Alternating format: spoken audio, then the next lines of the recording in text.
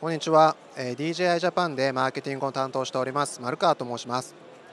えっと今日はちょっと DJI の新商品 OSMO という商品を紹介させていただきます。この OSMO はですねあの弊社のこれまで培ってきましたドローンのドローンの機体の下についているカメラを安定化させるための技術を手持ち型に応用したシステムになっております、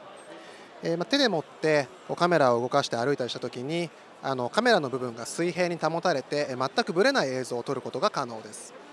で OSMO の横ではですね、えー、と端末上の端末内のアプリ上にて、えー、と映像をリアルタイムに確認しながら撮影することもできます。また、えー、と面白い機能としては、え自動パノラマ撮影機能といった、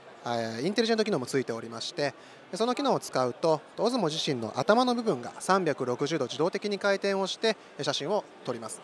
まあ、一般的なパノラマ撮影ではあの人自体が回転するのであの写真がぶれてしまうことが多いと思うんですけどもこの OSMO を使うとあの綺麗な滑らかな美しいパノラマ写真を得ることができます。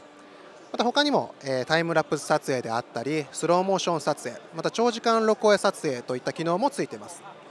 さらにですね、えー、拡張パーツを用いますとあの自転車やバイクまた車の車体などにもこの商品を取り付けることができます。